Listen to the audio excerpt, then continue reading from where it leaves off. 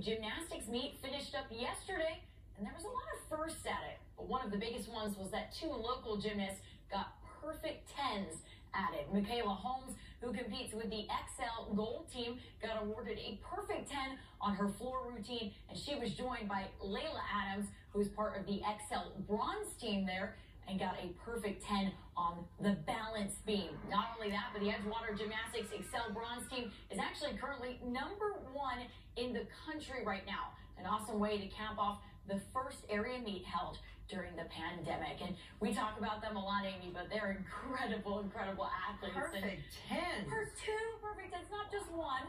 Two Wow. perfect tens. The first time that has happened at this meet, I think that is incredible. It is very exciting. Yes. We're very proud of them.